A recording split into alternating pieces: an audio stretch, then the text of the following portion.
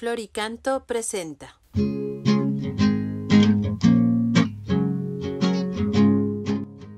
Hoy celebramos a Santa Mariana de Jesús Paredes, la Azucena de Quito.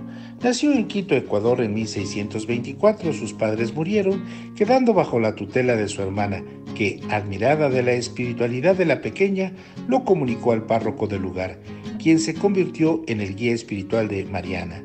Hacia 1630 hizo voto personal de castidad, obediencia y pobreza. Tiempo después impartió catecismo. En su juventud pretendió ingresar en algún monasterio sin lograrlo. Decidida a consagrar su vida al Señor, en su hogar llevó una vida conventual.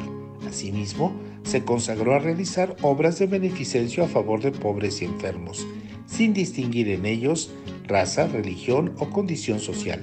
También dedicaba su tiempo a enseñar el catecismo a niños y visitar enfermos y encarcelados, a quienes llevaba palabras de consuelo y esperanza.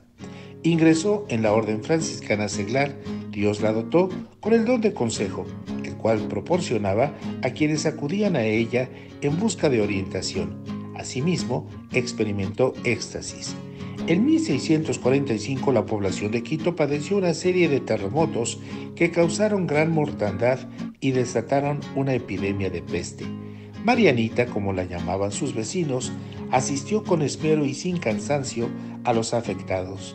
Asimismo, ofrendó su vida a cambio de que la tierra dejase de temblar, se acabara la epidemia de peste y por la expiación de los pecados de los fallecidos. El Señor aceptó su oblación y murió. Fue canonizada por Pío XII en 1950.